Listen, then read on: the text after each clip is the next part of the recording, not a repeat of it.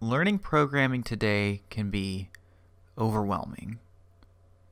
With so many languages and frameworks, starting out can be paralyzing. For this, you can pick any language you like and feel free to jump between them. Start out by thinking of something you like to do, something you like to make a reality.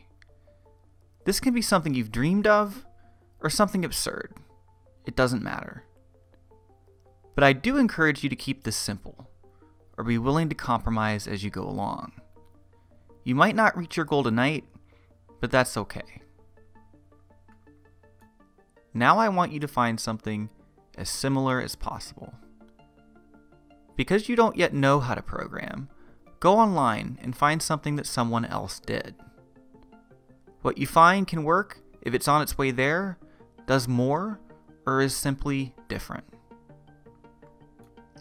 After you get your example working, one step at a time, change what you found into what you want.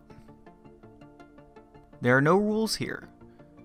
Do whatever you feel you need to do to accomplish your goal. Now, there are some tools that you can use to make this easier. The first one is called REPL.IT.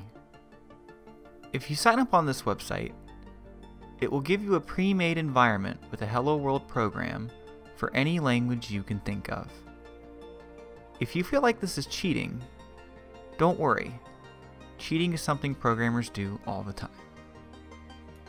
The next one, you're probably familiar with. Google is the number one tool programmers use every day. Start by using Google to find your example or examples. You can also use Google to try to find the ways to make your example what you want it to be. Now, this is not cheating. In fact, this is something that most programmers do every day. Anyone who says otherwise is either lying or foolish. Expect that this might take time. Hopefully, it stops feeling long, and you're looking at the clock, wondering how time has passed so quickly. You will hit plenty of dead ends.